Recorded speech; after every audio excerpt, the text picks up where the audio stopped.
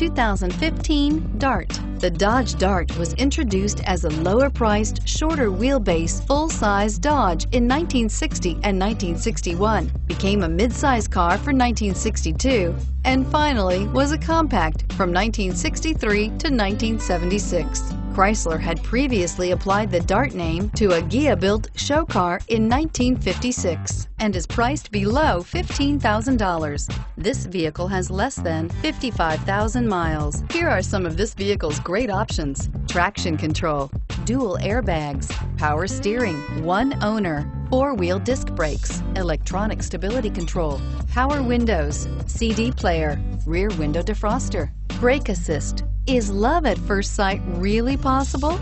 Let us know when you stop in.